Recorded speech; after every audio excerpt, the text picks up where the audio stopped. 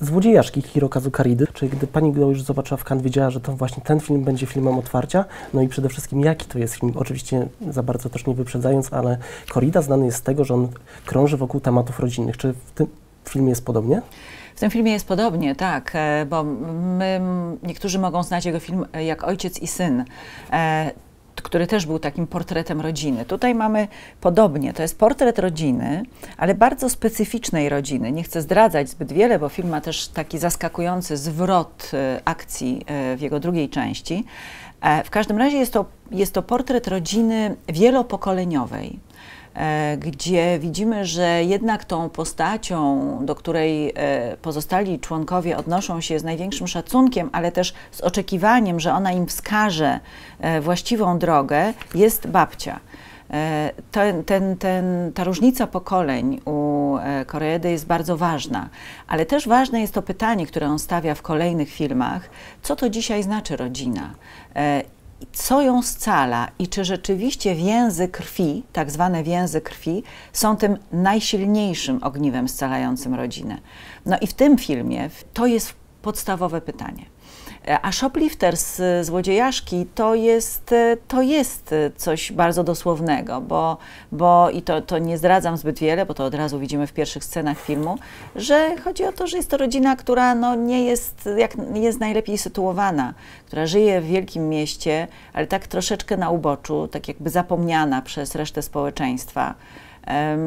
I te drobne kradzieże, to są takie kradzieże w sklepach, nie jakieś duże, tylko takie na potrzeby codziennego użytku e, i nie mające jakiegoś dużego, większego znaczenia jeżeli chodzi o straty w społeczeństwie, ale naturalnie są karalne. Mam wrażenie, że z roku na rok festiwalowa mapa Polski się powiększa i widzowie naprawdę mają do wyboru ogrom festiwali. Nie czuje Pani takiej presji ze strony też konkurencji? No i przede wszystkim, czym dwa brzegi wyróżniają się na tle innych festiwali?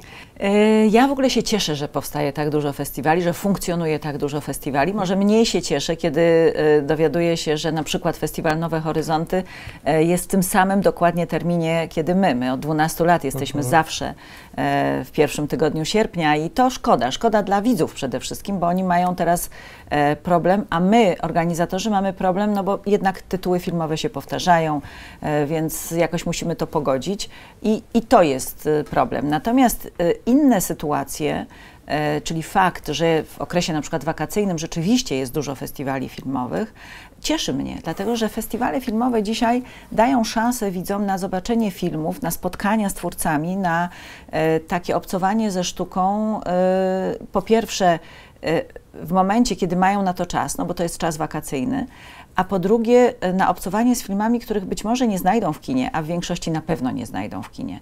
I tu e, my dajemy szansę, te festiwale dają szansę na, taką, na takie poznanie sztuki filmowej na wyższym poziomie. Więc to jest jedna rzecz, nie, nie, cieszy mnie to. E, a druga rzecz, o którą Pan pytał, w związku z tym, że jest tak dużo festiwali, tak a czym się, się wyróżnia? Tak, no, wyróżnia się, no to ja argumentów mam wrażenie, ja mam że to bardzo jest dużo. taki festiwal, który jest bardzo interdyscyplinarny, że z jednej strony kino, tutaj teatr, tutaj spotkanie z artystami.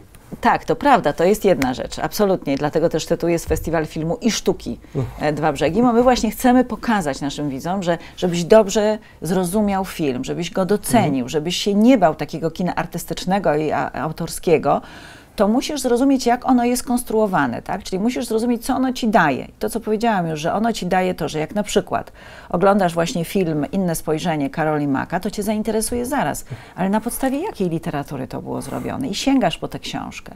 E, jest, są filmy z znakomitą muzyką. W ten sposób możesz poznać także kompozytorów, zastanowić się zaraz, a co to była za muzyka, kto ją napisał. I wchodzisz w ten świat muzyki. Podobają ci się zdjęcia, tak? Na przykład spodobają podobają Ci się zdjęcia w filmie Dogman y, i będziesz szukał, kto zrobił te zdjęcia, albo spodobają Ci się zdjęcia na przykład w Tataraku Andrzeja Wajdy i będziesz się zastanawiał, no dobrze, ale jaka była inspiracja? I dowiadujesz się, wchodząc chociażby na, na, na informacje o tym filmie, że tu inspiracją był wybitny artysta malarz, prawda? Więc no, to jest fantastyczne w sztuce, w sztuce y, filmowej.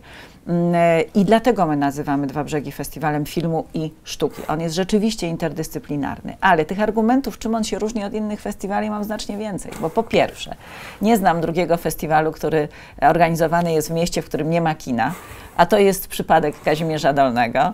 E, I od 12 lat e, robimy tam festiwal, budując całe to miasteczko festiwalowe, czyli widzowie, którzy do nas przyjeżdżają, wiedzą, że wchodzą w przestrzeń, w obszar, która, który został stworzony specjalnie dla nich, na te 8 dni tylko i wyłącznie. Bo jak kończy się festiwal 5 sierpnia, to my to wszystko rozbieramy i koniec, nie ma. Więc to zostało zrobione tylko dla, tych grup, dla tej grupy, która zdecyduje się do nas przyjechać. E, to jest jedna rzecz. No i druga rzecz, że rzeczywiście to miejsce, jakim jest Kazimierz Dolny, Janowiec, ten drugi brzeg po drugiej stronie Wisły, bo tam też się dzieje dużo i filmowo, i muzycznie, to są takie miejsca z nieprawdopodobnym klimatem, niepowtarzalną atmosferą.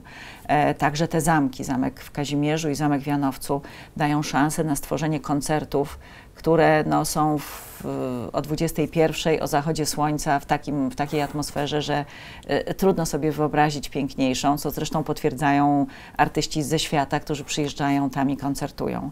E, także to, jest, to, są, to są takie argumenty, które mogę powiedzieć, że są charakterystyczne dla dwóch brzegów. I jeszcze jeden, mianowicie ze względu na to, że my mamy taką małą przestrzeń, mamy te dwa kina, E, jedno, jeden duży namiot na 800 miejsc, drugi na 200 miejsc, e, że mamy mały rynek, na którym wieczorem pokazujemy filmy, to, to powoduje, że ta selekcja u nas jest już naprawdę bardzo, bardzo precyzyjna. Tak? Tu nie ma miejsca na to, żeby był film jakiś, co do którego nie mamy pewności, że wart jest obejrzenia.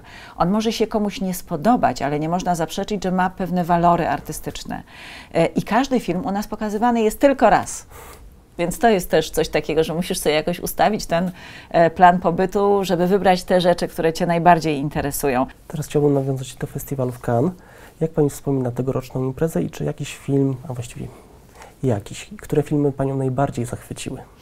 No sporo było tych filmów Cannes, które były, które były naprawdę dobre. To był dobry festiwal, bo są takie lata, były takie lata yy, kaneńskie, kiedy naprawdę ciężko było wytrzymać to, że no, oglądasz tam 4-5 filmów dziennie. I czasami to było nie do wytrzymania, ponieważ filmy były słabe i jesteś, oglądasz te filmy w głównym konkursie i właściwie wściekasz się i dziwisz, pytasz, dlaczego ten film jest w konkursie.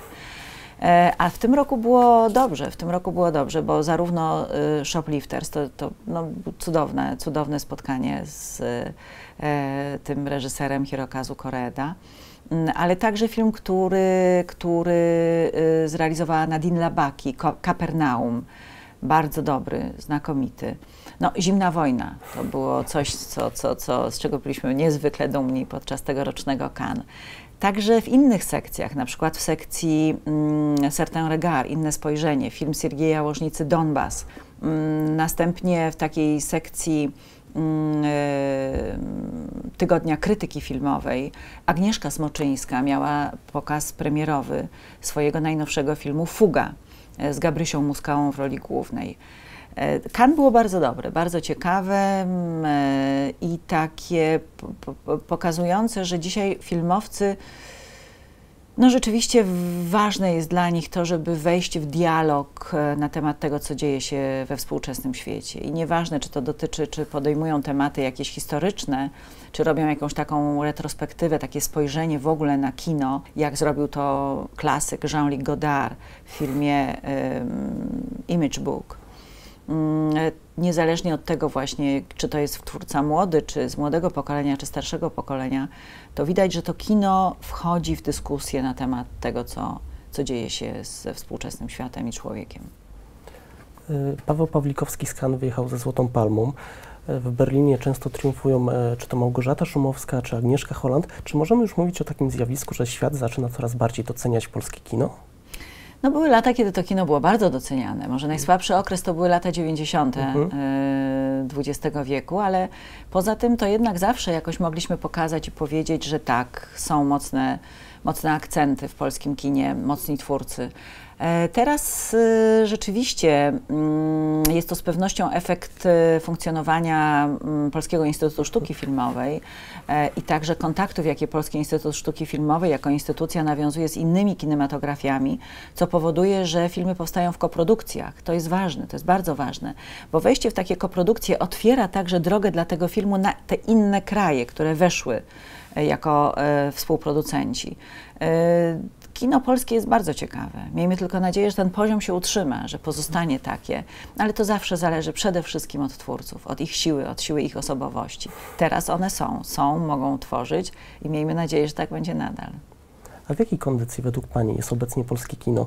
Bo ja mam wrażenie po ubiegłorocznym festiwalu w Gdyni, że szczególnie debiutanci tutaj doszli do takiego naprawdę mocnego, charakterystycznego głosu, bo takie nazwiska jak Piotr Domalewski, Agnieszka Smoczyńska, Kuba Czekaj, to są na, czy Jagoda Szelc, to są naprawdę osoby, których już nie można ignorować w świecie kina. Absolutnie ma Pan rację, to są bardzo silne osobowości.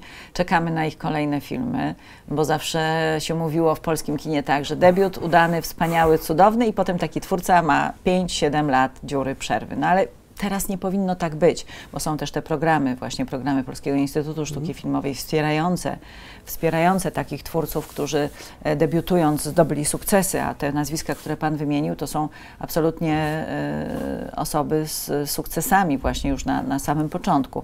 Także tak, tak, tak. Debiutanci są bardzo mocną stroną polskiego kina i oni nie mają kompleksów. Oni robią sobie takie kino, jak chcą. Oni nie oglądają się na to, jakie trendy są na przykład, nie wiem, w Europie czy, czy, czy, czy, czy na świecie. Oni robią swoje kino. Mają swoich mm, niewątpliwie mistrzów, e, bo to się czuje. Na przykład w filmie e, Wieża Jasny Dzień Jagody Szelc widać, że e, no, ona mm, e, ma e, swoich reżyserów, których uwielbia. Jednym z nich na pewno jest, e, można powiedzieć, Michael Haneke. To jest ten, ten rodzaj mhm. takiej, takiego jakiegoś niepokoju, który wprowadza jej film, e, podobnego jak wprowadzają filmy Hanekego. E, także oni nie mają kompleksów, nie boją się też pokazać, że są mistrzowie, którymi się fascynują i to jest ważne, to jest dobre chyba co najlepsze też, że te filmy potrafią znaleźć swoją publiczność, już znajdą się w takiej ogólnopolskiej dystrybucji. I chyba też o sile polskiego kina świadczy to, że filmy typowo komercyjne sprzedają się lepiej.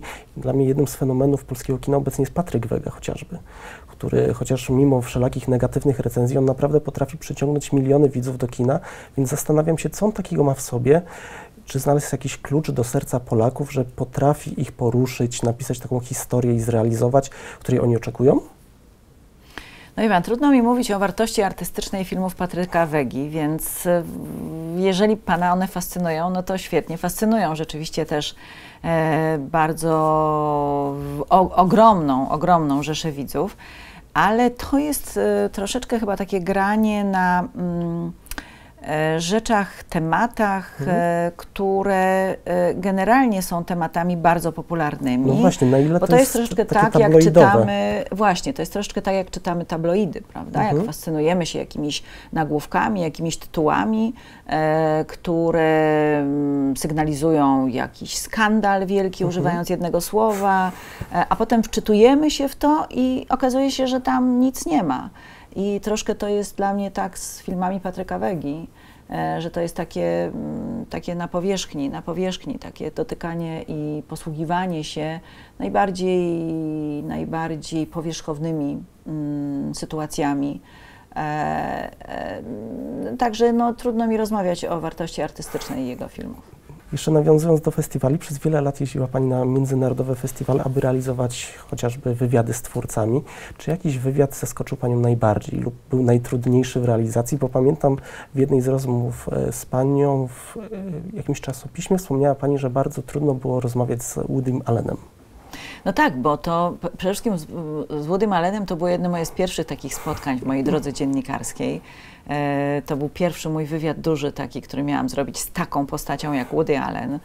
E, I e, to, to, to, pamiętam, no byłam bardzo tym przejęta, bardzo. To jeszcze był wywiad, który robiłam w Paryżu Więc y, mm, jechałam do Paryża, ten wywiad się odbywał w hotelu Ritz bo Woody Allen to w ogóle jest taka postać, która e, uznaje tylko mm, e, jakby styl życia na najwyższym poziomie, wbrew pozorom, tak? Bo jak się go widzi, to się wydaje, że on jest taki, taki, taki, no, taki, taki zmarnowany, tak. zmarnowany, że taka wymięta koszula i taki jakiś zniszczony e, tweedowe spodnie i marynarka i że właściwie przydałaby się mu jakaś opieka i że nie, w ogóle o siebie nie dba, a to wszystko jest bardzo mocno wymyślone i wypracowane.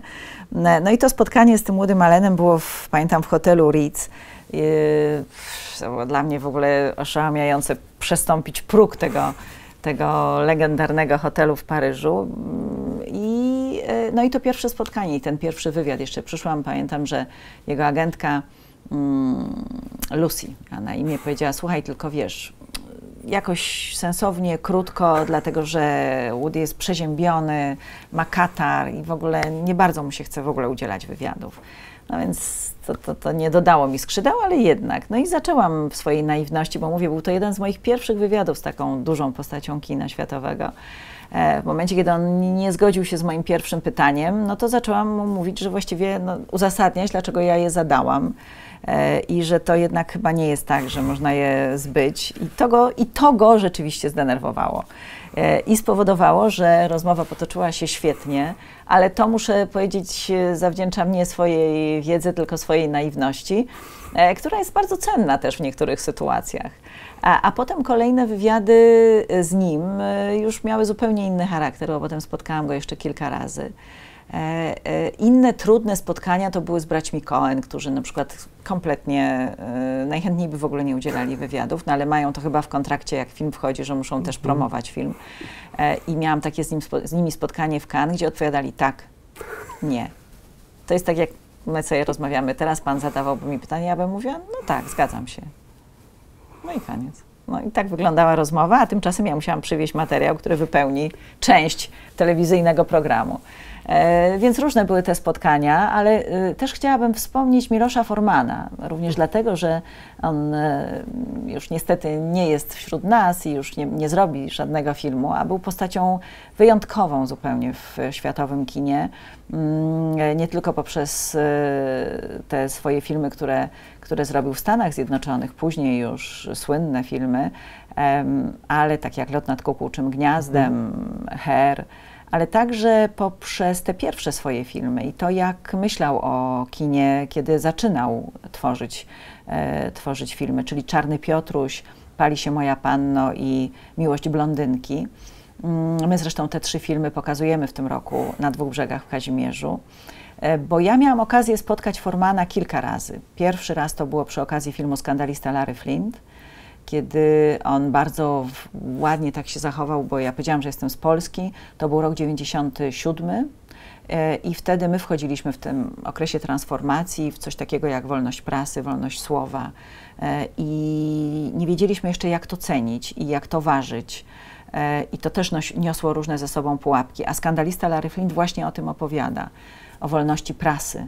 Mm, I to była bardzo ciekawa z nim rozmowa a, a, zresztą też ciekawa ze względu na to, że on cały czas siedział i palił cygaro tak, w czasie tego wywiadu. No i w telewizji nie możesz pokazywać osoby, która pali cygaro, czy pali w ogóle, w związku z czym trzeba było tak montować ten program później, e, ten wywiad, żeby tego cygara nie było widać. Widać było tylko taki dymek dziwny, który się unosił wokół niego, ale to dodawało, dodawało tylko atmosfery.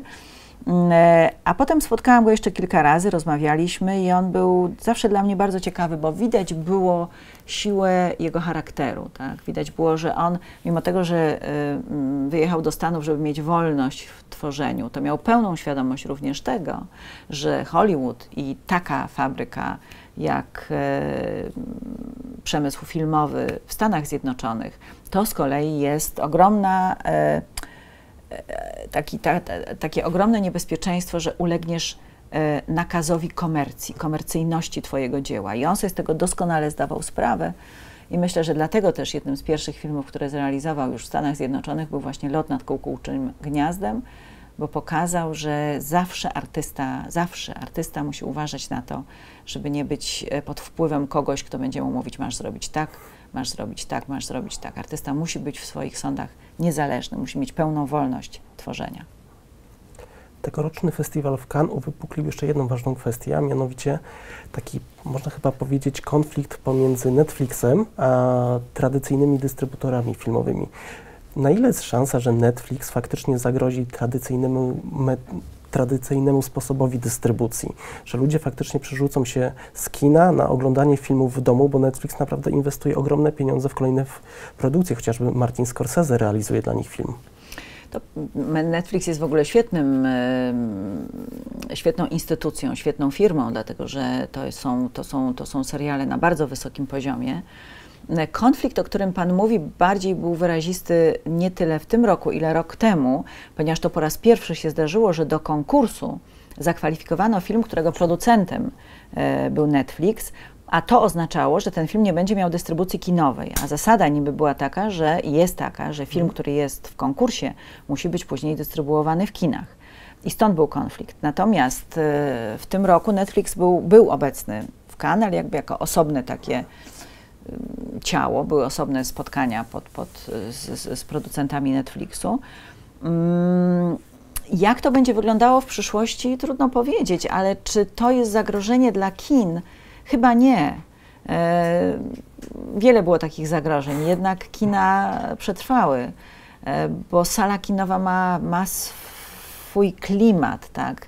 Jednak ten, ten, te, te, te, te, to ogromne to, to skupienie ludzi, to oglądanie w dużej grupie, y, no i ten ekran, który, i ten dźwięk, który jest nie do osiągnięcia w domu. No być może niektórych stać na to, żeby sobie zrobić taką e, salę kinową, prywatną, z ogromnym panoramicznym ekranem i ze znakomitym dźwiękiem. E, jednych stać, a drudzy nie mają takich wymagań i oglądają po prostu filmy na ekranie komputera. E, ale generalnie nie, nie, nie. Nie wydaje mi się, żeby kina były jakoś bardzo zagrożone. Mm, też nie wiemy, jak Netflix będzie dalej myślał o swoim rozwoju. Być może będą kina Netflix na przykład, prawda? Mogą się pokazać nagle sale, e, w których grane będą tylko produkcje Netflixowe, nazwijmy tak, to. No, wiem, Netflix już tyle razy potrafił zaskoczyć, tak, że teraz że tu, faktycznie nie byłoby to żadne zaskoczenie. co się będzie działo. Mhm. Przez wiele lat mogliśmy oglądać Panią w programie Kocham Kino. Czy jest szansa, że powróci Pani jeszcze do jakiejkolwiek telewizji w podobnym charakterze? Bo mam wrażenie, że we współczesnej telewizji brakuje takich rzetelnych, ambitnych programów, nawet nie tyle opowiadających o kinie, ale ogólnie o sztuce.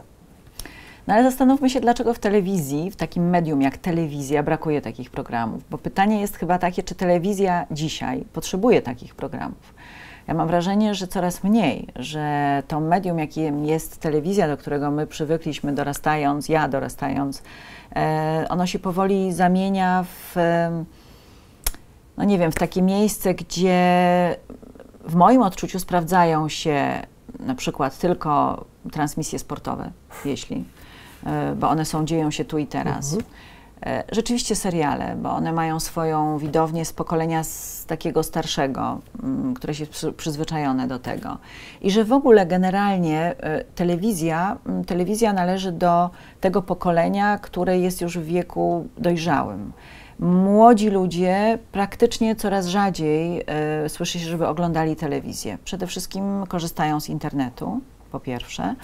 E, korzystają z e, możliwości, mówiliśmy o Netflixie, z oglądania na przykład filmów poprzez e, taki kanał i nie mają potrzeby posiadania w ogóle telewizora w domu.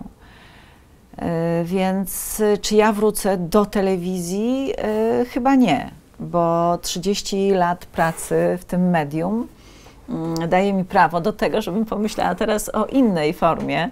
E, na razie fascynuje mnie rzeczywiście tworzenie Festiwalu Filmu i Sztuki Dwa Brzegi, a to jest praca taka naprawdę praktycznie całoroczna. E, a z drugiej strony fascynuje mnie próbowanie właśnie różnych innych form, także internetowych e, przekazów, przyglądanie się temu, jak to się dzieje, ale telewizja nie. Telewizja już dla mnie nie jest tym miejscem, które które, za którym bym bardzo e, tęskniła. Bardzo chętnie współpracuję na przykład z TVN-em i mm, realizuję dla nich określone projekty, ale nie jestem związana żadną umową, natomiast to są określone projekty, które robię. E, I, I, to tak, to jest dla mnie ciekawe, no bo też znam to medium bardzo dobrze i, i, i trudno z nim tak rozerwa, e, zerwać wszelkie związki. I nawet szkoda by było, bo mam w tym ogromne doświadczenie. No ale czas na nowe wyzwania. Dokładnie. I tak już na koniec, bo chyba też takim nowym wyzwaniem było zagranie pani mamy w filmie Jana Kidawy-Błońskiego Gwiazdy. Proszę opowiedzieć o tym doświadczeniu. Jakie to było uczucie? Ach, to było, nie, to zabawne, bo to przeszło już do historii, tymczasem to jest y, naprawdę po, ogromna rola, bo ona trwa chyba mm, 15 sekund. Ale zawsze powtarzam, że wielkim moim sukcesem jest to, że y, 100% zagranej na planie filmowym roli weszło do filmu. E, to, było, to było dla mnie takie wzruszające, trochę zabawne, wzruszające, bo po pierwsze dotyczyło okresu e, drużyny piłkarskiej Górnika Zabrze, e, bo film opowiada o postaci Banasia, który był takim, takim, takim niepokornym e, zawodnikiem Górnika Zabrze. Mm, e, I to, było dla mnie, to był dla mnie powrót do czasów mojego dzieciństwa, bo mój tata był związany bardzo silnie z y, Górnikiem Zabrze, był tam szefem sekcji w takich latach największych sukcesów tego, e, tej drużyny. E, Moja mama no, i w ogóle piłka nożna w naszym domu była zawsze obecna. Także ja jestem kibic, kibicką piłkarską bardzo, bardzo mocną i uwielbiam piłkę nożną. E, I zagranie mojej mamy, która, która, która zawsze była na meczach piłkarskich, e, o której też się mówiło w tych latach 70., że jak ona zapowiadała mecze reprezentacji piłkarskiej, a wtedy trenerem był e, Kazimierz Górski, czyli Orły Górskiego, no to nasi wygrywali. Więc to, to, to rzeczywiście po prostu było dla mnie miłe. Miły powrót do czasów dzieciństwa, no a w dodatku wyzwanie, żeby zagrać moją mamę. I e, w ocenie mojej mamy zagrałam ją świetnie. Bardzo dziękuję pani Dziękuję.